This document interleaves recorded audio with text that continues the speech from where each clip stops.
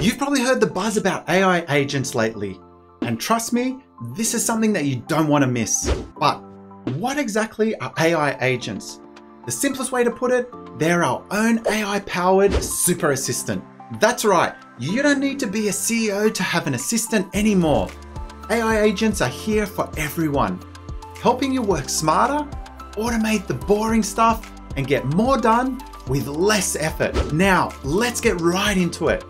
I'm excited to show you SysAid's AI Agent Builder and how it can revolutionize the way you handle IT tasks.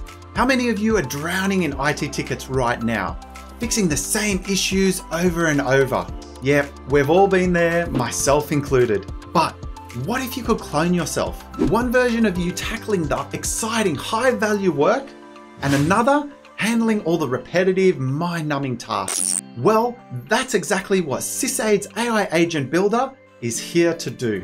I know this sounds crazy and it sounds like something out of a sci-fi movie, but stick with me. We're about to dive into a demo and show you just how easy it is to set up and automate workflows so you can finally stop putting out fires and start making a real impact. Let's get into it. This demo is a common repetitive task that a lot of admins do. Create user accounts. Here we have our sysadmin called Elon and he's been asked to create a new Azure AD login. First thing he does is open up SysAid Copilot's chatbot and asks if it can add a new employee to Azure AD. The chatbot responds saying it can't do that just yet. It then instructs Elon to be able to automate this task he must go into AI Builder and create an AI action for adding a user to Azure AD. Elon is interested and responds with, take me to the builder. He is then presented with the AI Builder. You might be thinking here, okay, great, what now? Well, Elon doesn't need to drag or drop any blocks on the screen trying to create workflows. He doesn't even need to know how to code. The chatbot on the right already knows what Elon is after starts to create an action of adding a user to Azure AD. Within a few seconds, the block is created. Clicking on the block expands it, and we can see the block's name along with the AI prompt. However, Elon would like to add a phone number, department, and location information to the user account.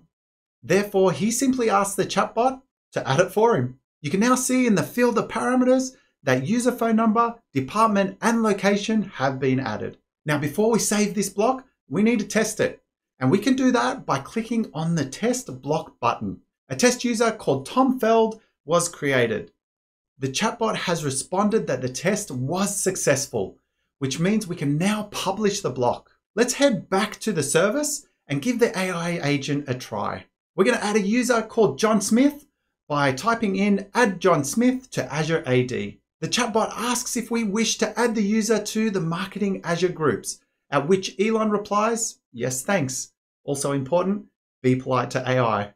And just like that, the AI agent has created John Smith in Azure AD, along with adding him to the marketing security groups. Now you have your user account creation tasks down to a matter of seconds. There we have it. As you can see, building AI agents is the way forward. It's how we're going to keep up with future demand while we're still maintaining a high level of customer satisfaction. Most importantly, it's designed to be accessible to everyone on the team. Whether you're an IT assistant, support engineer, help desk specialist, or even an end user, you don't need coding experience to create or benefit from AI agents. In fact, these agents can run autonomously in the background, achieving faster and better resolutions. This means less time spent playing catch up and more time focusing on what really matters. Everyone stands to benefit from this innovation. That is it from me today. Thanks for watching and I'll see you again in the next video. Bye for now.